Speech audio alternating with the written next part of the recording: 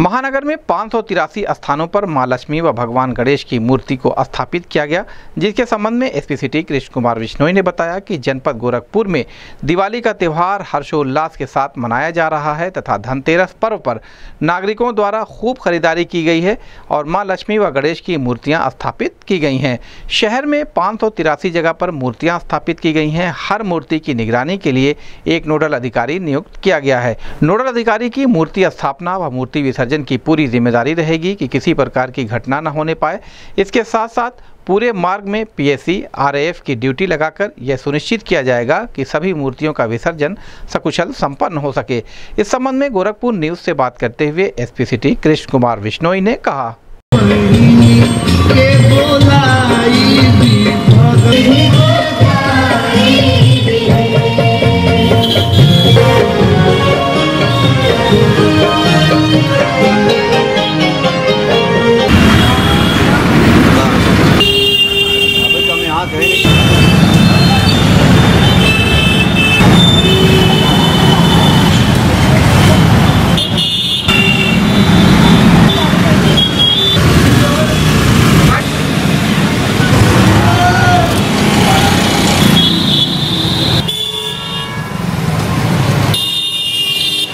अभिषेक जायसवाल।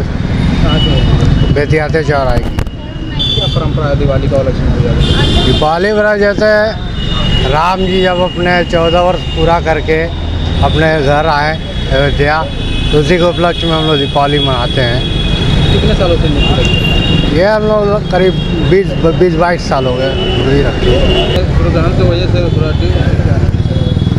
ठीक की वजह से हम लोग जिस दिन विसर्जन है उस दिन हम लोग नहीं ले जाएँगे।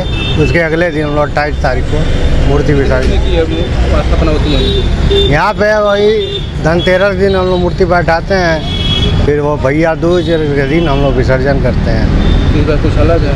जी हाँ इस समय सूर्यग्रहण की वजह से हम लोग एक दिन बाद मूर्ति ले जाएँगे। विशाल जायसवाल। कहाँ की मूर्ति? कहाँ की मूर्ति? ये घोष कंपनी से सौराष्ट्र कितने सालों से मूर्ति है? बाईस साल हो गए। क्या परंपरा है दिवाली का? ये एक पूजा चलता चला आया है उसी को बढ़ाते हुए चला जा रहा है। और इसके बारे में दिवाली क्यों मनाई जाती है इसके बारे में? गणेश पूजा है लक्ष्मी पूजा कैसी ऐसी पूजा वजह से मनाई जाती है। जनपद गोरखपुर में दीपावली का त्यौहार हर्षोल्लास से मनाया जा रहा है। धनतेरस के दौरान खूब खरीदारी हुई है। इसके बाद में लक्ष्मी जी की जो मूर्तियाँ हैं वो स्थापित की गई हैं। शहर में पाँच जगह पे लक्ष्मी जी की मूर्तियाँ स्थापित की गई हैं एवं उसके साथ में प्रत्येक मूर्ति के लिए एक नोडल अधिकारी नियुक्त किया गया है। और नोडल अधिकारी ना सिर्फ़ मूर्ति स्थापना मूर्ति स्थापना से लेके पूजा से लेके उसके विसर्जन तक आ, उसकी जिम्मेवारी रहेगी। कि किसी प्रकार की कोई घटना ना हो पाए, एवं इसके साथ साथ पूरे रूट में भी पीएसी एवं आरएएफ की ड्यूटी लगाकर यह निश्चित किया जाएगा कि सभी मूर्तियाँ अच्छे से बिना किसी समस्या के उनका विसर्जन हो सके। Thank you